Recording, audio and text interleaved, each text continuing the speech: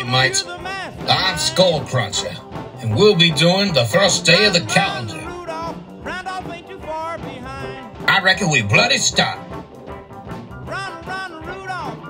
After I finish with these parts, I'm gonna need a coldie and a dury in the outback. This devil is a cool looking build. A little hard yakka, but still no walkers.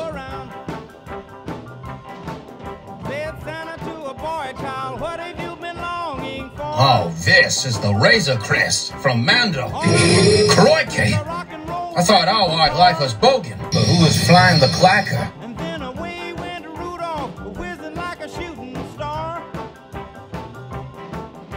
Run, run, Rudolph, Santa